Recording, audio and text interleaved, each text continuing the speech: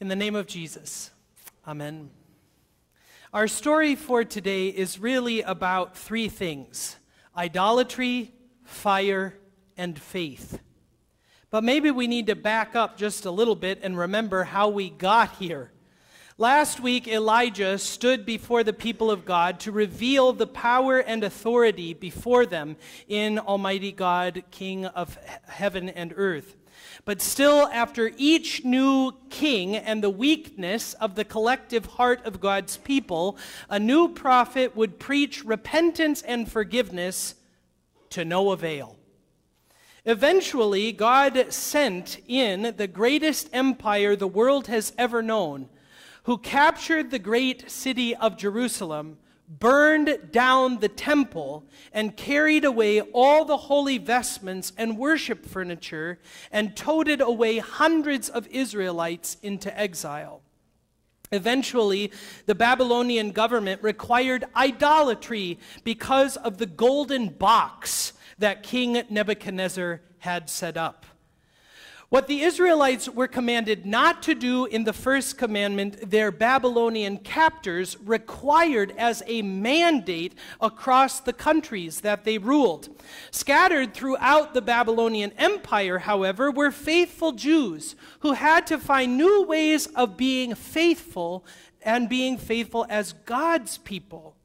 The concept of the synagogue, a house of worship centered on the preaching of God's Torah and prayer, was actually a development during this time period. When there was no temple and no place to worship, God's people gathered together to hear the word and be reminded of how to be God's people, even in a foreign land and in foreign rules. But now King Nebuchadnezzar had set up this golden image and required that everyone, from greatest to the least, bow down and worship the golden image that King Nebuchadnezzar had set up. Did you notice that phrase repeating itself over and over? It's a reminder in the text to us as the hearers that most idols are man made creations that do not measure up to the holy God, our Savior. I wish I could say that King Nebuchadnezzar was the last idolatrous leader or the last creator of an idol in human history, but that, as you well know, is simply not the case. While certainly this government mandated idolatry is rather strange to our American ideals, most often we don't even really need the help of the government to create an idol for ourselves. How quick we have been to abuse the freedom of religion, to leave behind our Christian values, and even coerce the gospel to affiliating itself with our political ideology. Our culture has even developed TV shows about idolizing someone for their talent. And you'd hope that the church would be a faithful alternative to the I this gadgets that help us build our insta idol of me, myself, and I. But even we have managed to squeeze God into a box so that we might contain the God we've created in our own image into the smallness of our intellect. We have even idolized God's church and its leaders all the while missing the one to whom all of this was supposed to point our crucified and risen Savior, Jesus the Messiah. Shadrach, Meshach, and Abednego refused to cave to King Nebuchadnezzar's decree, to the sound of their musical summons, or to the golden image which he had set up. In fact, when questioned by the king, they were defiant, with a courage that certainly should challenge all of us to re examine our priorities and reassess our commitments. Do we dare call ourselves Christians when we put our occupational schedules, our workout routines, and even our family priorities before the commitments of serving the Lord fully in our lives?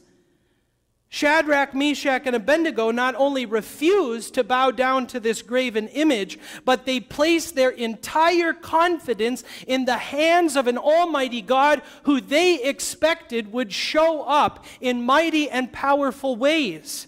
They blindly trusted that his power would deliver them from the fiery furnace and that they must go through it to be faithful to their God and King. It is the strength of their faith that results in a fiery response. The king turns up the heat, a blazing seven times higher than the normal temperature, and casts them into the furnace. Too often, we buy the lie that faith is simply fire insurance from the flames of hell, or it's a get out of jail free card by which we are cheaply pardoned for our sin. And once we've secured the remedy for eternal death, we quickly move on to what the world might call the bigger and better things.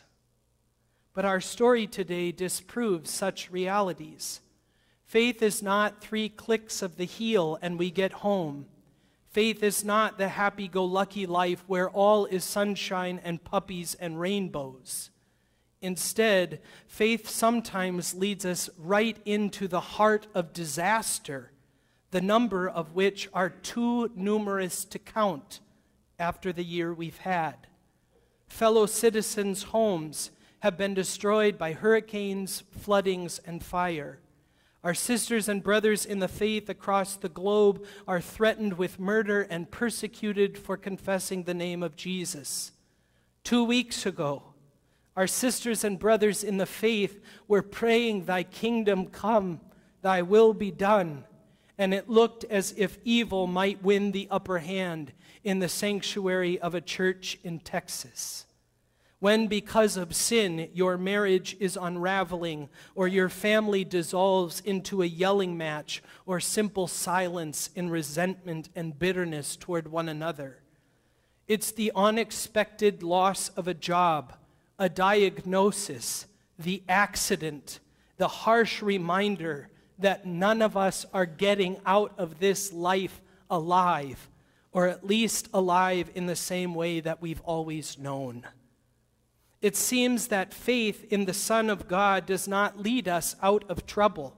It does not always protect us from the harm and hurt which is so readily available in this life. In fact, sometimes faith leads us right into the firestorms of life. It waltzes us under the crosses we are called to bear for weeks and months and years without end.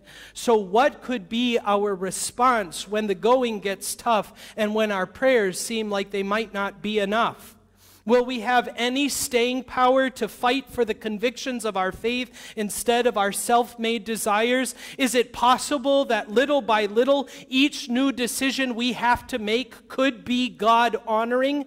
Is it possible that even though we are wrought with sin, that God, in His goodness, might transform our wills, our heart, our mind, and our flesh into the saints of His glorious kingdom, and that we might be a reflection of the splendor of His light. This Sunday, we celebrate the final festival of the church year, Christ the King Sunday. Even as we observe this festival, we acknowledge the idolatry, the fire and the faith which we have encountered along the way. We are forced to admit to ourselves that we have had other gods who simply have not made the cut for us. We have strayed and faltered and wandered off. We confess that we have fallen into the trap of idolatry all around us.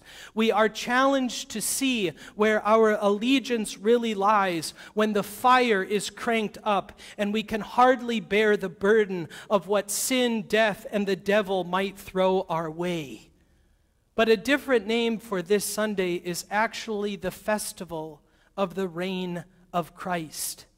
It is when we praise Jesus, confess the creed, and pray in his name that we are pledging allegiance to the only one who has died to save us. When we say that Jesus is Lord, we are honestly saying that I am not Lord of my life. We commend our entire selves, both in life and in death, come what may, into the hands of the one who rules over every time and every place, even unto eternal life. The faith of Shadrach, Meshach, and Abednego is certainly a powerful example to us all. It dares us to believe in the face of injustice or the trials of our own lives. Their faith is certainly admirable, but please don't let their faith trip you up either. It shouldn't cause you to wonder or worry if your faith is strong enough or bold enough. Because faith is not simply a wishing for Christ to appear. Instead, faith is the certainty, the certainty that Jesus will come and that he is already with you, whether you believed it or not. Faith is learning to follow where God is leading, even into the fire, and knowing that He will be with us, and together we will come out the other side unscathed. Faith is learning to live in the certainty of your King, regardless of your status, whether you're a member of the court, a pauper who stands outside the palace, or a refugee and an, an exile in a strange land. Faith is knowing that Christ is king and you are not, nor is your spouse, your child, your schedule, or anything else. And once nothing else is in his place, then Christ makes his triumphal procession into the throne of your heart forever. Thanks be to God. Amen.